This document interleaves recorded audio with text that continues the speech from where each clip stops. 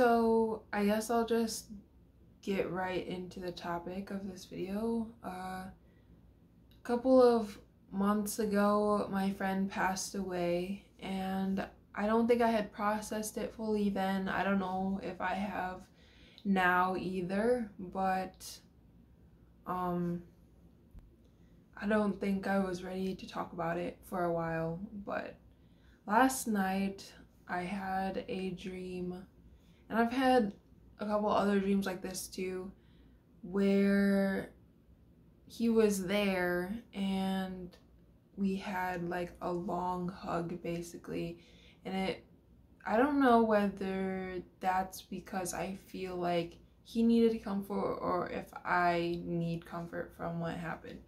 But it's always a really nice comforting hug and I think that experience in my dream, I guess, reminds me of him and I think also makes me realize that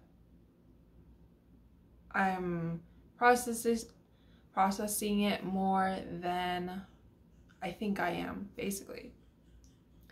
So I feel like a big part of him passing away is feeling like I could have done more because this was um, a suicide.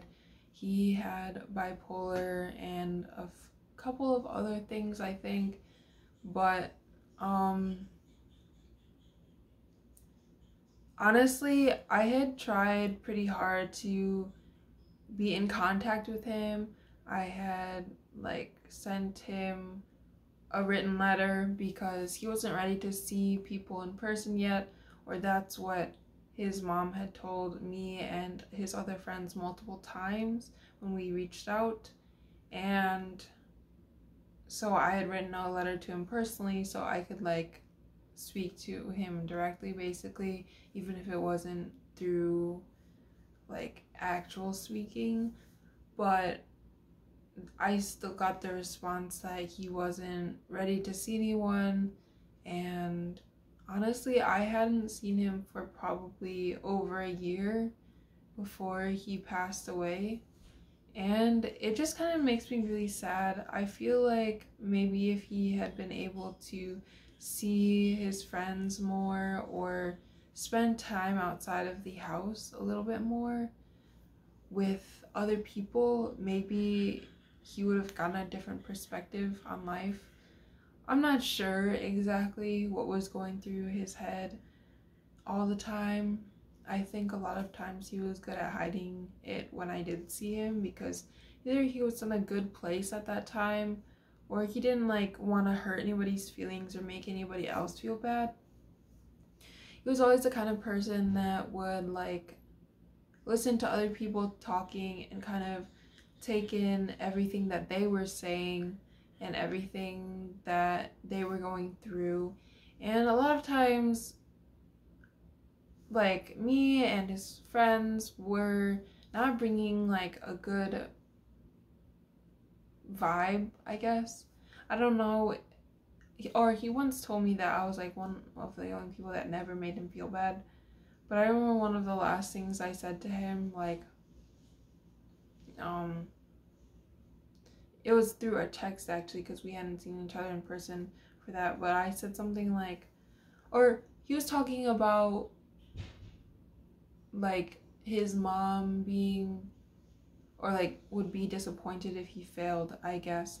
And i said like i don't think that your mom would be disappointed if you failed. I think she wants you to at least try and then that was the last I heard of him, and I think that's the last time I spoke to him directly at all.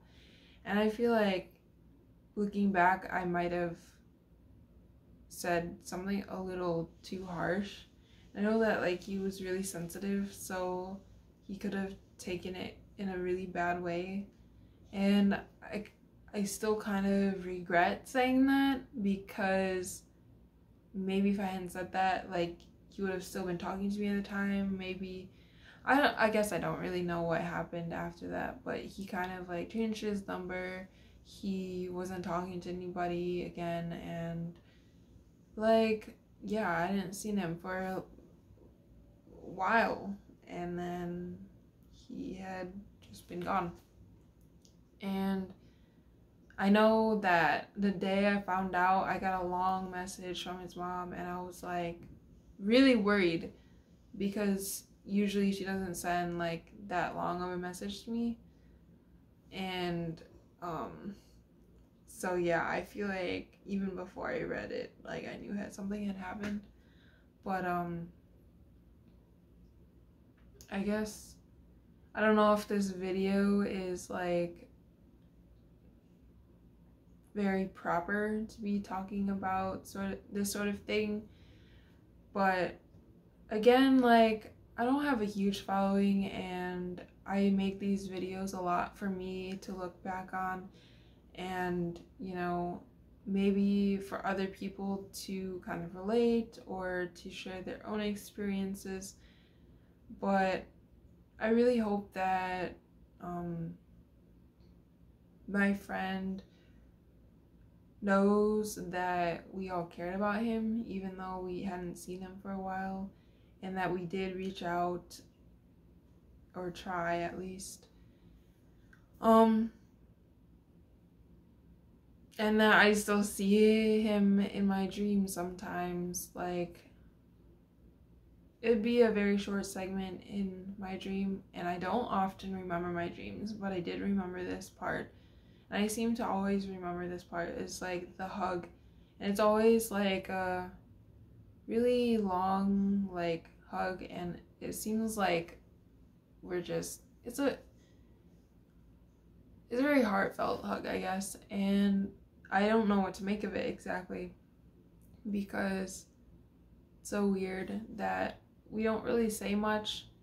And I even in my dreams thought that if I had said, Oh, you're not like really real, and then touch him, you just disappear, sort of thing. He didn't disappear that time because it was only a dream. but, um, yeah.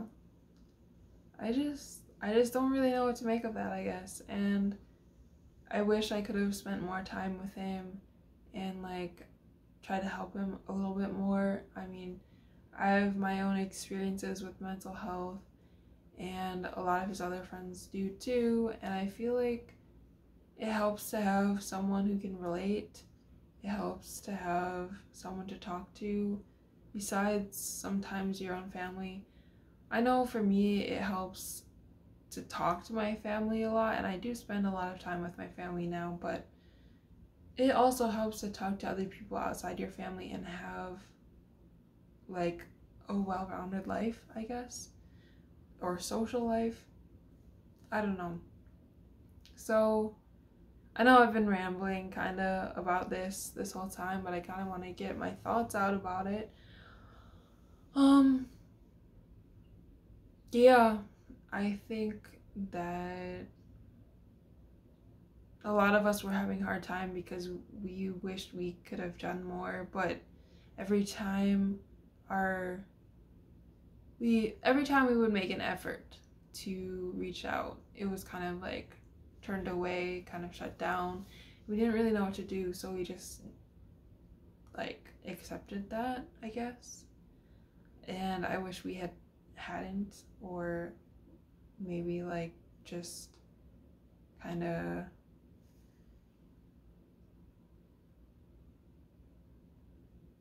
pushed a little more or something. I don't know.